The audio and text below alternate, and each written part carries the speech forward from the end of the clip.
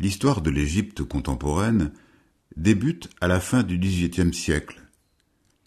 En 1798, sur fond de rivalité avec l'Angleterre, Napoléon Bonaparte mène en Égypte une expédition militaire et scientifique qui provoque un véritable choc culturel et se prolonge par une courte incursion jusqu'en Syrie-Palestine l'année suivante.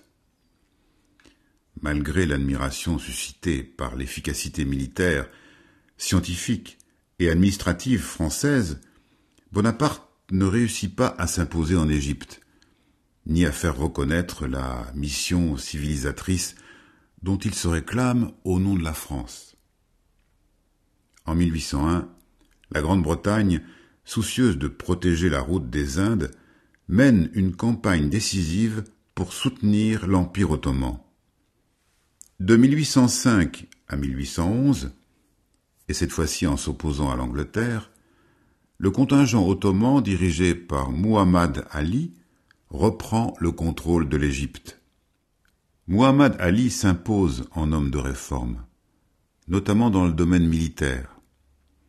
À la demande du gouvernement ottoman, il écrase les forces de la puissante famille Saoud dans le Nejd, continue son expansion vers le Soudan, puis, à l'occasion de sa participation à l'écrasement de la révolte grecque en 1824, impose son autorité sur la Crète.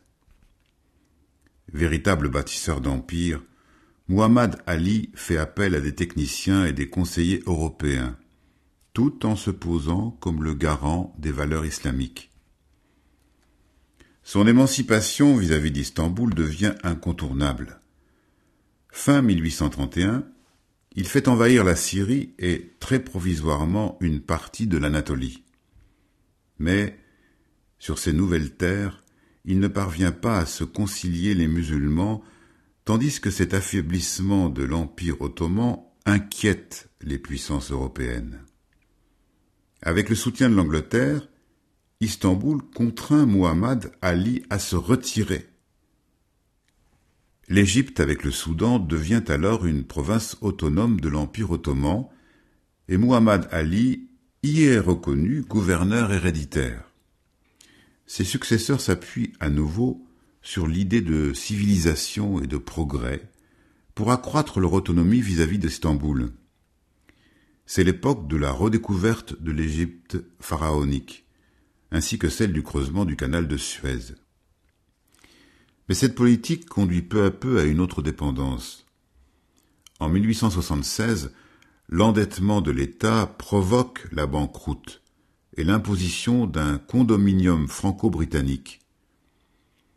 Un mouvement nationaliste égyptien se développe et provoque, en 1882, l'intervention militaire de l'Angleterre qui prend prétexte d'un fort mouvement de révolte au Soudan pour occuper durablement le pays. Elle y aura les mains libres dès 1904 en signant avec la France l'entente cordiale.